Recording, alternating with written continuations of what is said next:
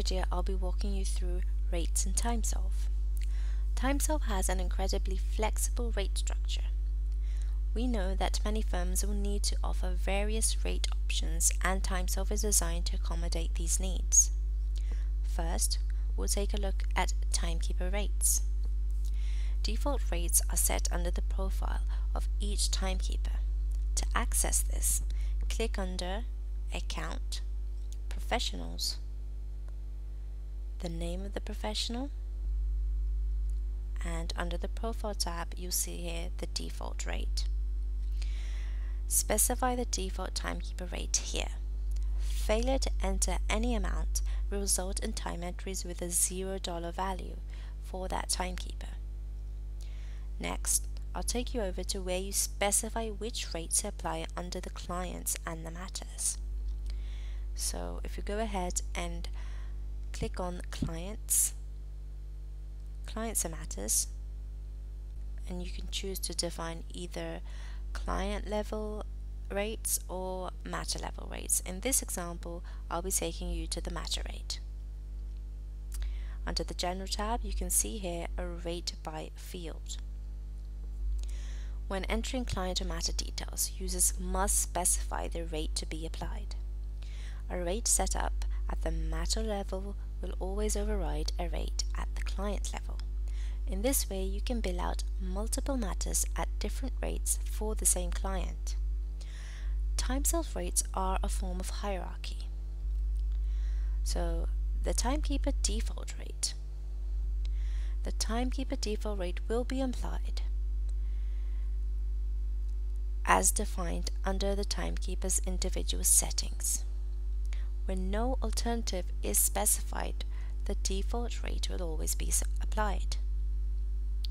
Task the timekeeper default. This means that the timekeeper default will be applied unless there is a task code entered against the time entry that has its own specified task code rate. The task code rate will then override any timekeeper default rate. Global rate.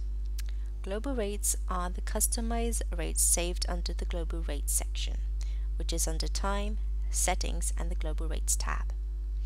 Assigning a global rate to a client means that users will have the benefit, for example, of giving the client a discounted rate of X percentage for all their time and expense entries. Or, for example, an ongoing case spanning over numerous years can have a 2015 rate applied to it. Task then global rate. This means the, go the global rate will be the standard rate applied unless the task code chosen for the entry has its own specified rate.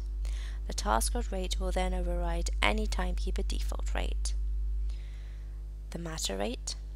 This means that when you save this selection as matter rate, an Edit Rates button will appear, allowing the user to specify the matter rate.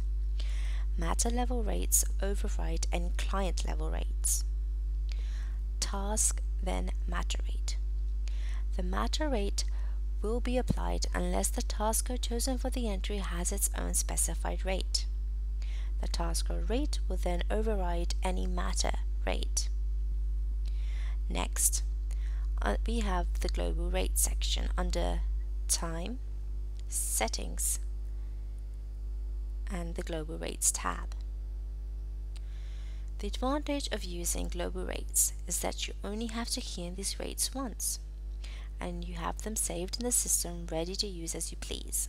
As an example of the benefits of global rates, if you have different rates for specific clients, you can name a rate by the client name and no longer have to worry about memorizing their rate when entering time for them. You can also assign matter-specific rates. For example, if you have different rates for the type of work you are doing, litigation, divorce, or child custody, you can save those rates under global rates and assign those rates to the cases as they come in. So let's go ahead and click on New Global Rate. Now, the description is only available when viewing the list of global rates under this specific tab. when you are assigning global rates in the clients matters section, you will only see the name of the global rate, so make sure that the name is as, as descriptive as you can make it. Once you've saved the rate, you can go ahead and click on Edit Rates. You can see here a column to fill in the alternative rates against each user's default timekeeper rate. It's also important to note that if at any point you are changing rates, you want to make sure you edit these rates for any existing and unbilled time entries. TimeSolv allows for old time entry rates to be updated with new rates in batches to save time and prevent missed entries.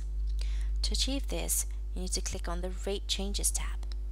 Specify all the matters or select as many as needed. In this example, I will be selecting all matters. Select a from and to date, or you can leave this blank if you do not want to restrict the dates. If you click on Include Time Entries where rate had been overridden, this will include any entries that have been manually altered in the search. After hitting Search, you can see that a list of time entries will be displayed showing the old rate and the new rate. Select the desired entries or click all by clicking the topmost checkbox and click on Update Rates in selected time entries to update the time entry rates. Thank you for listening.